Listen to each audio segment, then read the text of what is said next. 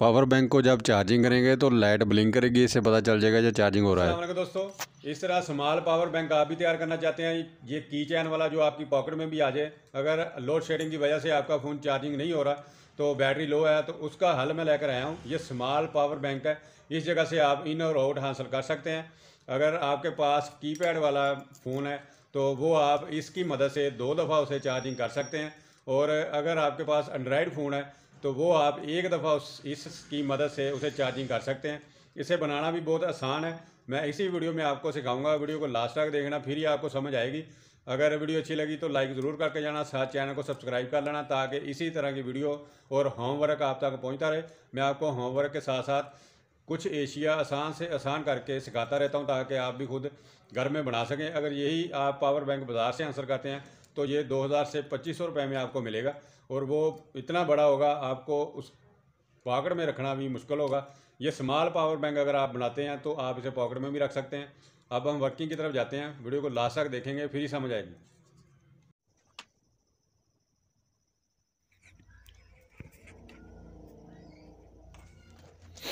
Power bank अगर आप भी बनाना चाहते हैं तो ये वाला मेड्यूल चाहिए आपको, ये भी मार्केट से आपको पचास से साठ रुपये में मिल जाएगा। और चार्जिंग वाला सेल चाहिए, ये भी आपको मार्केट से एक सौ दस से बीस रुपये में मिल जाता है। ये दो एशिया चाहिए, आपको एक सौ अस्सी से नब्बे रुपये में पड़ेंगी।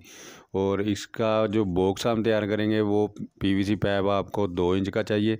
अगर इससे भी इजी बॉक्स बनवाना चाहते हैं आप तो वो भी मैं इसी वीडियो में आपको सिखा देता हूँ। इससे भी इजी बॉक्स होगा, जो तैयार किया होगा आपने, सिर्फ़ उसमें सेल को फिक्स करना है।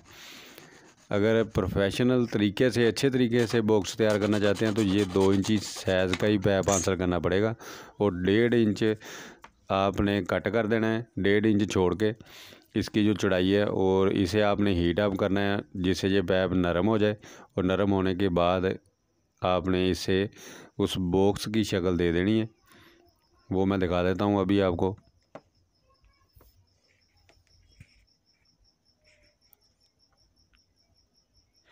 जब ये नरम हो जाए तो किसी भी एशिया के साथ या इस तरह पेचकस की मदद के साथ आप जब इसको बाहर को खींचेंगे तो ये आपस में ज्वाइंट हो जाएगा। और ये जितनी सेल की लंबाई है, उतने ये दो इंच का पैप है और इसके अंदर ही फिक्स हो जाएगा।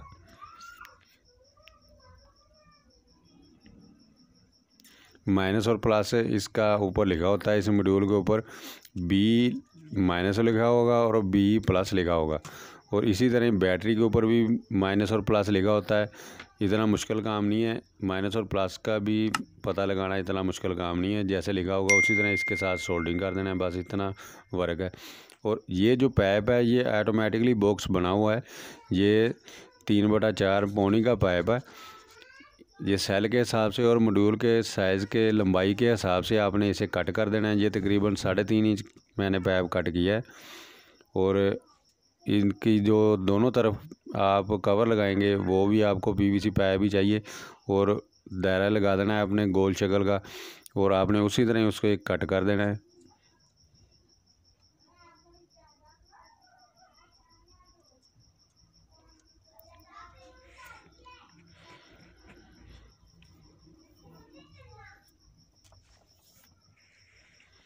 अगर वीडियो अच्छी लगी तो लाइक ज़रूर करके जाना, साथ चैनल को सब्सक्राइब कर लेना ताकि इसी तरह की वीडियो आप तक पहुँचती रहे। मैं आपको कम खर्चे में कोई भी अशिया बनाना सिखाता हूँ ताकि आप जो भी अशिया तैयार करना चाहते हैं तो आप खुद कर सकें।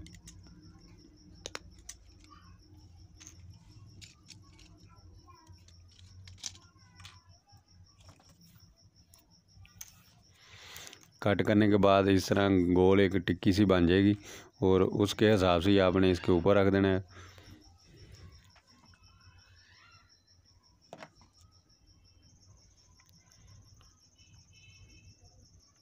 सेल के ऊपर सोल्डिंग करना थोड़ा सा मुश्किल होता है। आपने सेल के ऊपर सोल्डिंग ज़्यादा देर नहीं करनी क्योंकि सेल वर्क करना छोड़ देता है। सोल्डिंग करने से पहले आपने सेल के ऊपर थोड़ी सी खराश लगानी है। जब निशान वगैरह उसके ऊपर लग जाए तो फिर इसके ऊपर सोल्डिंग करनी है। सोल्डिंग करने के बाद माइनस वाली जगह पे सेल की माइनस लगा देनी है और पॉजिटिव वाली जगह पे आपने पॉजिटिव सोल्डिंग कर देनी है और उसी तरह ये पाइप के अंदर फिक्स हो जाएगा।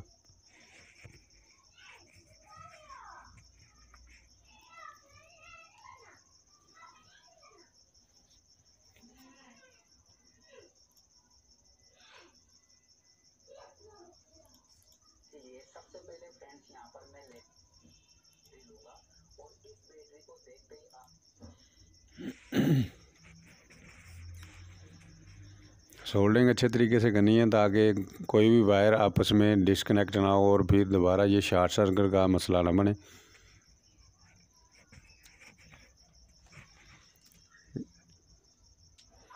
ये मैं आपको लगा के दिखाता हूँ।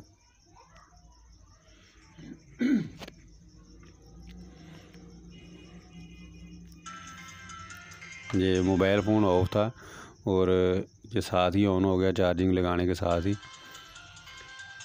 अगर आप कीपैड वाला फ़ोन चार्जिंग करते हैं तो इसे आप दो दफ़ा चार्जिंग कर सकते हैं। नेक्स्ट मैं आपको पावर बैंक बनाना सिखाऊँगा, जो आप एंड्रॉयड फ़ोन को चार्जिंग करेंगे तो दो से तीन दफ़ा उसे चार्जिंग कर सकते हैं। और चार्जिंग पे जब भी आप लगाएँगे तो ब्लू लाइट ऑन होगी और जब आप पावर बैंक को चार्जिंग पे लगाएँगे तो ये रेड लाइट ऑन होगी।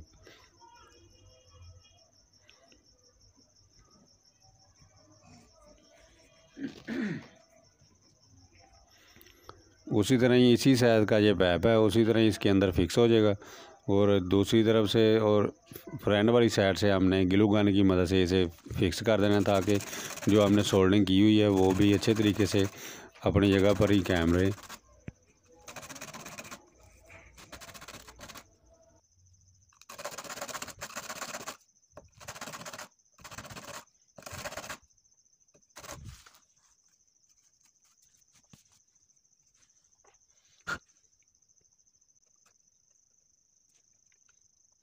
सेल के साथ जो हमने वायर अटैच की हुई है, सोल्डिंग किया हुआ है, उसके ऊपर हमने गिलू गन की मदद से इंस्टेंट गिलू लगा देना है ताकि जो वायर है वो सोल्डिंग अलग ना हो और थोड़ी सी ज़्यादा लगा देनी है ताकि ये जो मड्यूल है वो भी उसके ऊपर ही फिक्स हो जाए। ये आपने ख्याल रखना है, कोई वायर आपस में अटैच ना हो, अगर अटैच होगी तो ये मॉड्यूल भी ख़राब हो सकता है और सेल भी ख़राब हो सकता है। और पैप के अंदर फिक्स करके साथ भी हम इस जैक को फिक्स कर देंगे गिलू गन की मदद से ही। और सेल की बैक साइड पर भी हम गिलू गन की मदद से ही उससे अपनी जगह पर ही फिक्स कर देंगे।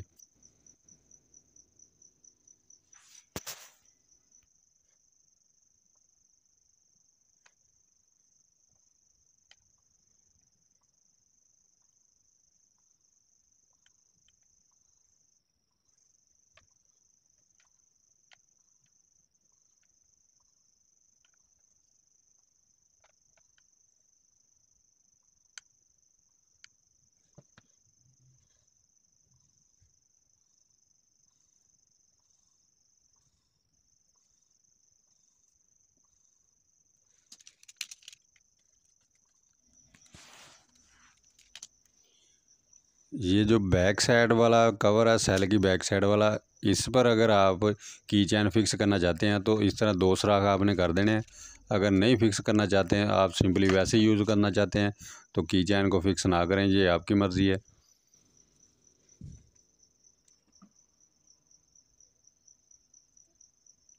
मैं आपको फ़ोन के साथ अटैच करके भी दिखाऊँगा, और इसकी बहुत अच्छी क्वालिटी है बेस्ट चार्जिंग करता है, मैंने इसे यूज़ करके देखा हुआ है। अगर आप कीपैड वाला फ़ोन यूज़ करते हैं तो उसे चार्जिंग करना चाहते हैं तो दो दफ़ा आप दिन में उसे चार्जिंग कर सकते हैं। जब भी बैटरी लो होगी, दूसरी दफ़ा फिर उसे चार्जिंग कर सकते हैं। अगर आप एंड्रॉयड फ़ोन को चार्जिंग करना चाहते हैं तो वो आप तकरीबन पचास से सत्तर परसेंट तक चार्जिंग करेंगे, क्योंकि इसके अंदर एक सेल है, और एक सेल की कैपेसिटी इतनी है। अगर आप एंड्रॉयड फ़ोन को चार्जिंग करना चाहते हैं तो उस तरह की पावर बैंक आपको चाहिए तो वो वीडियो भी आपको नेक्स्ट मिल जाएगी। उसमें आप उसको भी दो दफ़ा चार्जिंग करेंगे। और इसका कट अगर आप मॉड्यूल फिक्स करने से पहले लगाना चाह रहे हैं तो पहले फिक्स कर सकते हैं, इससे इजी हो जाएगा। अगर आप इजी से कट निकालना चाह रहे हैं, अगर फिक्स करके कट लगाना चाह रहे हैं तो ये आपकी मर्ज़ी है।